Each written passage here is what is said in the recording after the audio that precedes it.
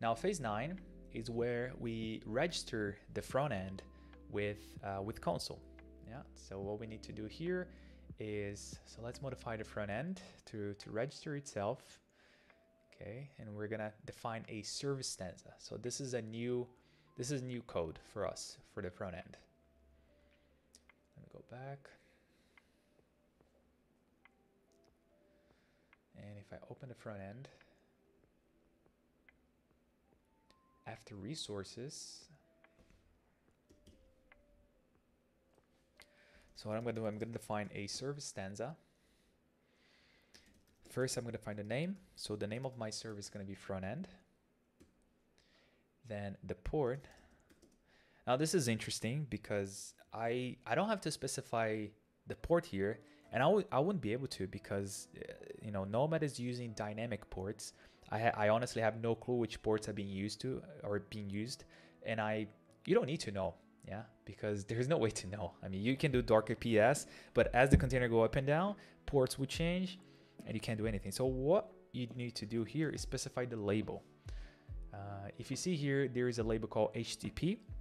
And basically, if you specify the label in the service stanza, you're telling Nomad whatever port you allocated to to Docker container, use that for the service.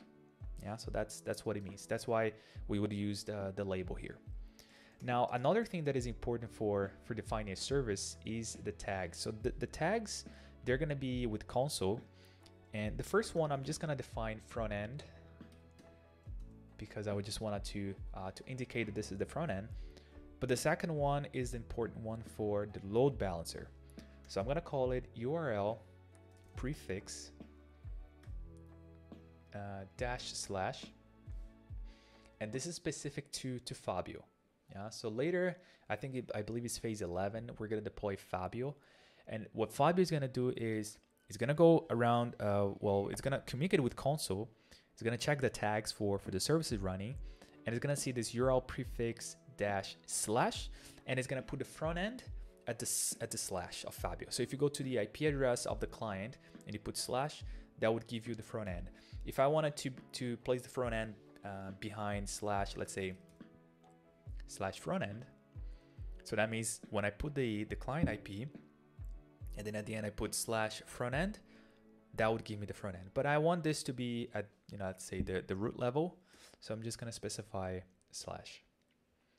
So this is why we need the tags.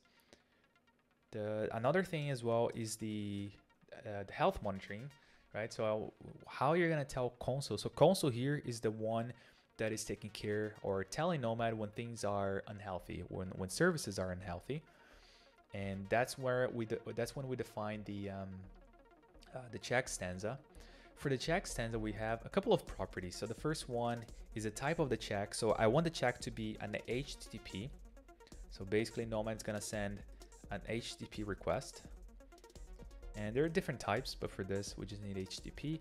Now the path, it needs to know where to reach the, the front end. And my front end can be reached at the slash, so just at the root level. Then we have two things, so interval, how long we're gonna do the check. And I want to do this every five seconds. And this is just the requirement from, from the challenge. I'm just following what's in the challenge. And then the timeout, I'm gonna give two seconds for the front end to reply. My front end should reply in less than two seconds. If it takes more than two seconds, that means something's wrong. Okay. All right, so I believe that's everything. Let me go back here and make sure that I didn't miss anything. Yeah, so when you're done, let's run a front end and see what happens. Okay. So if I do nomad run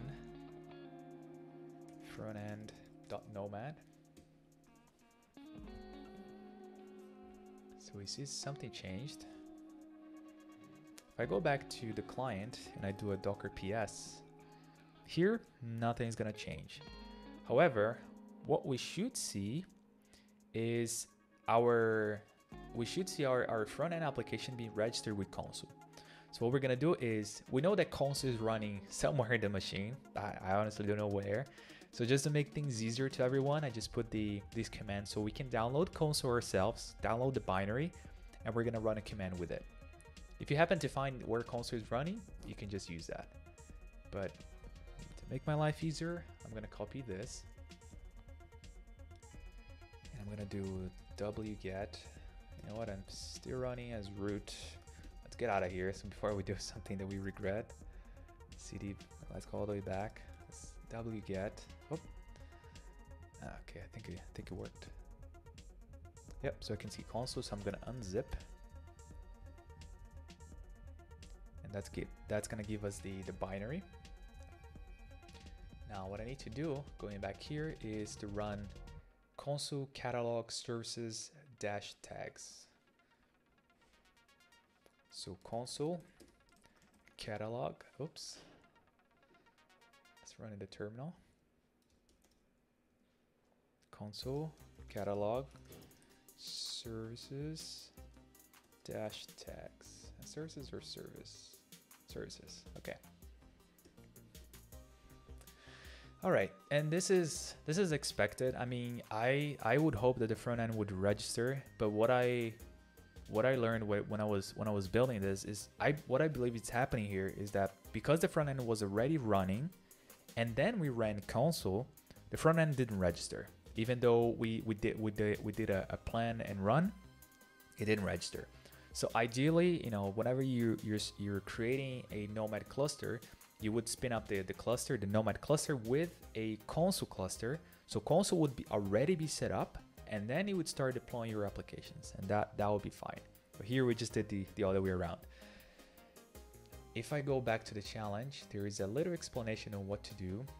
So what we can do here is to do a Nomad stop. So we're just gonna stop the front end and then we're gonna run it again and see if it's gonna register with Consul. Hopefully it will.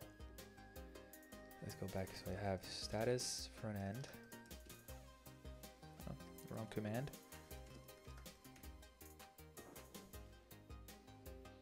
Alright, so everything's running. So now I'm gonna do a nomad stop front end.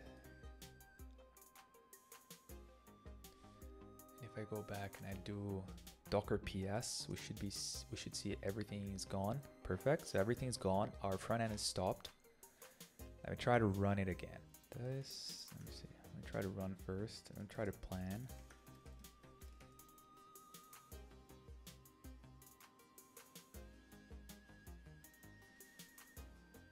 Okay, so it says everything looks fine. We do a nomad run. Let's try again. All right, I guess now it worked. I'm not sure what I did wrong, but seems to be fine. But I'm actually very curious. What did I do? Oh, I did a Docker run. Oh, wow. That's why. that's why I did a Docker run, not a Nomad run. Okay, that now it makes more sense. Go back to the client and I do Docker PS. Okay, so I should see everything running. Now, because I was running Consul before and now I deploy the front end, let's see if it registered itself. So consul catalog services dash tags. All right, perfect. So now we can see the front end here. Before we didn't see anything, but now we can see front end and URL prefix. So yeah, so just just bear that in mind. If you were doing the challenge, you would probably you probably face this. You would just have to stop the front end and run it again so we can see Consul and register.